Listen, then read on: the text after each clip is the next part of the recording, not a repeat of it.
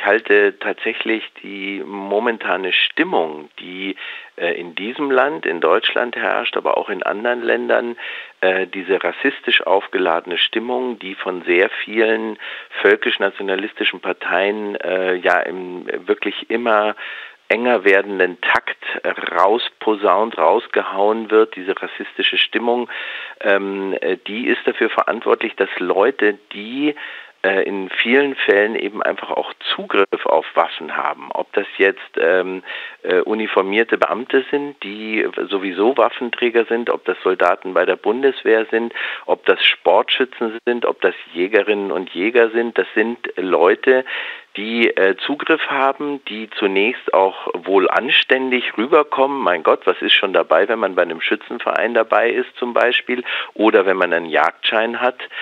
Äh, und äh, aber die Stimmung herrscht vor. Es gibt eine unmittelbare Bedrohung dieser, also so fühlen diese Leute, die sind davon überzeugt, ich lese gerade das äh, Manifest von dem Hanauer Täter, das ist äh, ans paranoide grenzendes Bedrohungsgefühl von in Anführungszeichen fremden, fremden Kulturen, vom Islam, von Einwanderern allgemein, Migrantinnen und Migranten. Und diese Bedrohung ähm, wird im Internet, wird in den sozialen Medien vielfach äh, wiederholt. Das ist wirklich in dieser Hinsicht die klassische Echokammer, von der wir in letzter Zeit äh, uns zu sprechen angewöhnt haben. Und äh, es entsteht äh, diese Situation, dass Leute das Gefühl haben, so und jetzt muss ich handeln. Ich, alle sagen es, alle ähm, äh, sehen, dass uns, äh, dass die weiße äh, Welt überflutet wird von äh, fremden Leuten, die uns an den Kragen wollen, die den Volkstod herbeiführen, den Bevölkerungsaustausch darstellen. Und dass man sich dessen erwehren muss, dass man zur Waffe greifen muss und dass man berechtigt ist, Menschen, äh, die man äh, als Fremde markiert, eben auch zu töten. Und genau das hat der Täter von Hanau gemacht. Und ich sehe ihn in einer Linie mit sowohl dem Täter von Halle, der versucht hat, in der Synagoge, das wisst ihr, in der Synagoge ein Massaker anzurichten und zwei zufällige Opfer äh, umgebracht hat. Äh, das ist aber in, auf derselben Linie auch bei so, ja, eben, wie gesagt, wohlanständigen Leuten äh, wie dieser Prepper-Gruppe äh, Nordkreuz in Mecklenburg-Vorpommern und auch in anderen Landesteilen in Deutschland. Leute, die eben aus sehr bürgerlichen, äh, auch völlig ungefährdeten Berufen heraus das Gefühl haben, sie müssten sich zumindest auf diesen Tag X, auf den Tag des Zusammenbruchs, auf den Tag des Beginns des Bürgerkriegs und sowas vorbereiten, die Waffenlager anlegen, Munition horten, Safe Houses organisieren.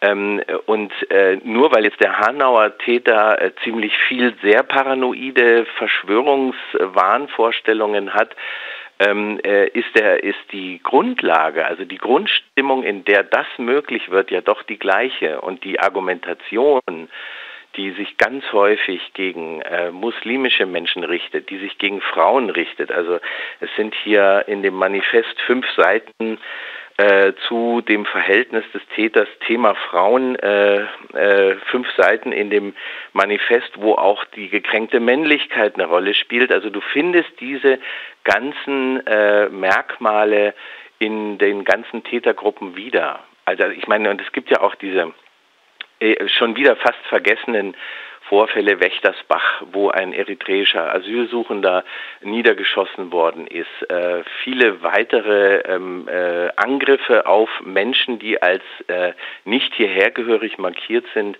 äh, und äh, äh, als Ziel ausgesucht werden, auch wenn nicht immer jemand ums Leben kommt, aber auch Walter Lübcke, der Regierungspräsident in Kassel, ist Ziel geworden, weil er sich für Einwandererinnen, Einwanderer, äh, Geflüchtete eingesetzt hat, also auch Leute, die äh, die Gesellschaft der vielen, die die multikulturelle Gesellschaft oder wie immer man das nennen will, propagieren, gehören in den Fokus dieser mörderischen äh, Leute, die im Grunde genommen nur den richtigen Zeitpunkt, also aus ihrer Perspektive richtigen Zeitpunkt abwarten und dann eben losschlagen.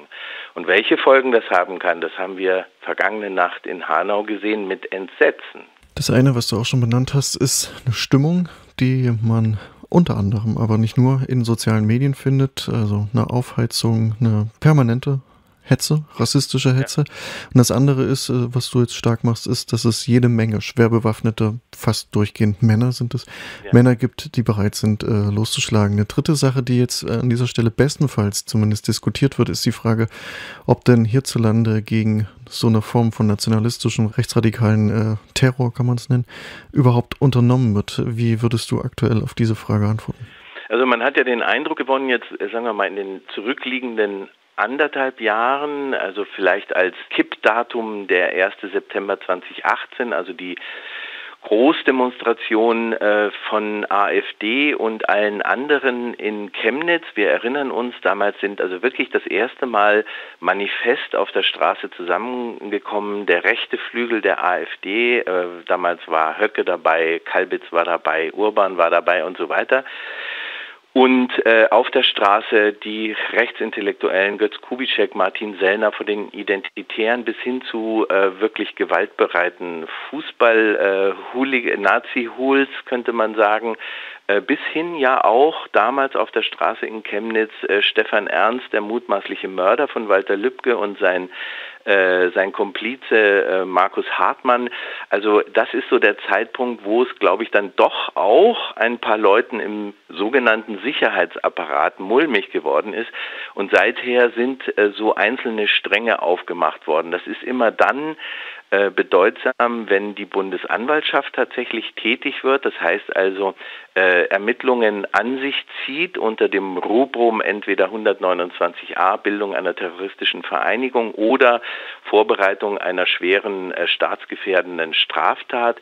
Das sind die äh, Stichworte, nach denen dann äh, die Bundesanwaltschaft Sachen an sich zieht und ähm, eben äh, Gruppen festnimmt, wie ja diese Woche, ich meine, das muss man sich auch mal vorstellen, das wird, die Taktung wird immer kürzer, die Ereignisse überschlagen sich. Diese Woche sind ja zwölf Männer in Haft genommen worden, die auf genau dasselbe zugearbeitet haben, auf den Tag, wo sie losschlagen wollten, wo sie in Moscheen reingehen wollten und Massaker anrichten wollten und mit dem, was damit ausgelöst wird, eben den Bürgerkrieg in diesem Land um mit Waffengewalt ähm, ihre Vorstellungen von äh, Zusammenleben äh, durchzusetzen. Das hat es gegeben, aber kurz nach Chemnitz ja auch schon Revolution Chemnitz, das heißt also diese Gruppe, die äh, in Chats äh, sich verabredet hat, äh, schwere rassistische Straftaten zu begehen, die stehen im Moment vor dem Oberlandesgericht in Dresden vor Gericht. Und äh, viele andere sind in den Fokus geraten oder sind auch festgenommen worden nach, äh, nach den, ja, nach getanem Verbrechen wie äh, die äh, Menschen, die in den Mord an Walter Lübcke ähm, äh, einbezogen waren äh, oder auch äh, in Halle ähm, der Täter und so weiter. Also es werden, äh, man hat das Gefühl, es wird zumindest schaufenstermäßig jetzt schon gesagt, wir gucken dahin, da gibt es, irgendjemand hat auch von Zero Tolerance gegenüber Rechtsextremisten gesprochen. Das würde ich jetzt mal so nochmal in Frage stellen. Interessant finde ich, dass äh, dadurch äh, so eine Art äh, Handlungsmacht des Staates zwar dargestellt wird, aber im Fortgang dieser Festnahmen und Verhaftungen äh, die justizielle Aufarbeitung oft dazu führt, dass das Geschehen tatsächlich auch wieder ähm, verharmlost runterdividiert wird, dass äh, die Verfahren auseinandergenommen werden und so einzelne Stränge dann gar nicht mehr so dramatisch ausschauen. Also das beste Beispiel dafür ist Marco G., das ist dieser SEK-Beamte, Polizeibeamte aus Mecklenburg-Vorpommern, äh, der ja Kopf und Chat-Administrator von Nordkreuz war, also von dieser Gruppe, auf der rassistische und äh, ja den NS äh, verharmlosende Posts rumgegangen sind, die er zum Teil Teil selber äh, gepostet hat. Und dieser Typ, der ist einfach dort nicht etwa als äh, der einer der Köpfe von Nordkreuz verhandelt worden, sondern als ein Polizist, der eben einfach nur eine Prepper-Gruppe. Und vor Gericht in Schwerin, ich bin dort gewesen, hatte man den Eindruck, dass äh, vorausgesetzt wird, ja, Prepper, das ist doch irgendwie nachvollziehbar, Klimawandel, Katastrophen, Systemschwäche, Failed States, überall, sowas kann passieren. Und wenn man sich darauf vorbereitet, also Vorräte anlegt, Benzin hortet, Safe Houses organisiert und solche Geschichten und natürlich Waffen, äh, die Nordkreuz hatte Waffen in großer Menge und auch Munition, äh, trotzdem ist hier nicht ganz klar gesagt worden, das ist eine terroristische oder in der Tendenz terroristische Gruppe und diese Leute müssen, äh, äh denen muss das Handwerk gelegt werden, sondern ist gesagt worden, naja, so ein bisschen so ein verirrter SEK-Beamter, eigentlich ein treuer Diener des Staates und er ist jetzt quasi straffällig geworden, weil er so ein Waffennarr ist. Ne? Also das Wort taucht auch so oft auf, dass dieser Chat und diese Gruppe eine dezidiert äh, äh, völkisch-nationalistische Ausrichtung hatte, wurde vor Gericht in Schwerin überhaupt nicht mehr erwähnt. Das heißt also, auf diese Art und Weise werden die Verfahren auseinandergenommen und es entsteht das Bild, als würde der Staat so peu à peu über äh, die Justiz dieses äh, ganze äh, rechtsterroristische Schlamassel aufarbeiten und eigentlich haben wir alles im Griff so ungefähr. Und ich äh, würde sagen, davon äh, ist äh, man in diesem Land echt sehr weit entfernt. Und es ist eine richtig gefährliche Situation, das nicht ernst zu nehmen und immer wieder, jetzt auch wieder davon zu sprechen, dass das Einzeltäter sind und Verwirrte und was wir nicht alles wieder gehört haben. Ich meine, um 7 Uhr früh hat die stellvertretende äh, Vorsitzende der CDU-Bundestagsfraktion noch gesagt, man wisse ja gar nicht, ob das jetzt ein links- oder ein rechtsextremistischer Anschlag wäre, wo ich mir auch denke, äh, dümmer geht es nicht. Man fragt sich wirklich, wie dieses, äh, diese, dieser Sprech kurz nach solchen katastrophalen Verbrechen, Anschlägen, wie sich das so verselbstständigt, dass die Leute immer wieder diesen selben Schwachsinn labern. Und dann kommt noch der Fokus um die Ecke und spricht von den Shisha-Morden, als hätte es den NSU nie gegeben, als hätte es den Streit um das Wort Dönermorde nie gegeben. Es ist also wirklich so zum auswachsen. Man versteht nicht, dass es keine Entwicklung gibt und man versteht vor allen Dingen nicht, warum jetzt nicht ganz konsequent Leute, die in diesen Szenen unterwegs sind, entwaffnet werden. Es sind zu viele schwer bewaffnete, unkalkulierbare, vor allen Dingen Männer in diesem Land unterwegs und es gäbe Möglichkeiten, sehr, sehr viele von diesen Waffen einzukassieren. Und das müsste jetzt passieren. Das ist das Minimum. Nun ist die Stunde von Minuten des Gedenkens, wo man sagt, wie schlimm das ist. Nun ist die Stunde, wo man sagt, man muss dagegen was tun. Aus äh, hallischer Perspektive äh, kann man sagen, dass das häufig auch wieder zu einer Form von Verweigerung führt, sich tatsächlich aktiv gegen Rassismus zu engagieren, wenn die Aufmerksamkeit äh, weg ist, wenn die Kameras abgezogen sind. Du bist jemand, der mit dem NSU sehr viel zu tun hatte, zum Beispiel, ich weiß gar nicht, wie viele Sitzungen du beim Prozess äh, vor Ort warst und auch für uns Bericht erstattet hast ja. und da auch viel zu tun hattest mit äh, den Hinterbliebenen in dem Fall des NSU, ja. des sogenannten NSU. Kannst du dir vorstellen, welche Auswirkungen so ein was Anschlag äh, auch auf Menschen mit Migrationshintergrund, auf migrantische Gemeinschaften hat und haben wird? Mit Sicherheit sind Menschen, die Einwanderer-Communities und anderen Minderheiten in diesem Land angehören, Menschen, die sich für Geflüchtete einsetzen, äh, Fraueninitiativen, also das Thema Frauen, Männlichkeitswahn spielt hier eine ganz wichtige Rolle.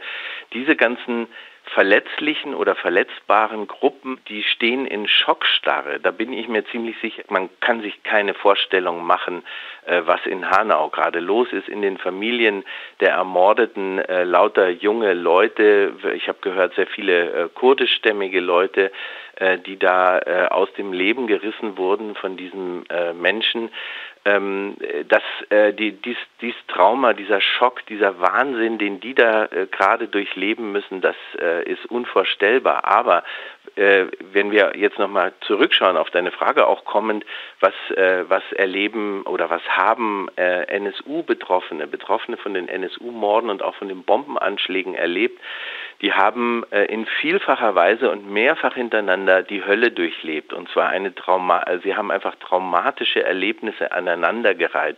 Wir erinnern uns, erst sind ihre Angehörigen ermordet worden, dann sind sie selbst unter Verdacht gestellt worden. Viele haben das den zweiten Anschlag genannt. Dann jahrelang stand die Frage im Raum äh, oder, oder der Verdacht im Raum, sie wären selber in den Tod ihres Verwandten verwickelt oder auch in die Bombenanschläge verwickelt gewesen. Und dann kam, flog der NSU auf, endlich war so eine Art von Klarheit und das Fenster für irgendeine gerechte Aufarbeitung oder irgend so was ähnliches vorhanden. Dann kam die gigantische Enttäuschung des Prozesses, ein Prozess, der äh, auf die Ansprüche und Forderungen der äh, Betroffenen, der Geschädigten überhaupt nicht in keiner Weise eingegangen ist und mit einem wirklich peinlichen Urteil, einem unwürdigen Urteil geendet hat.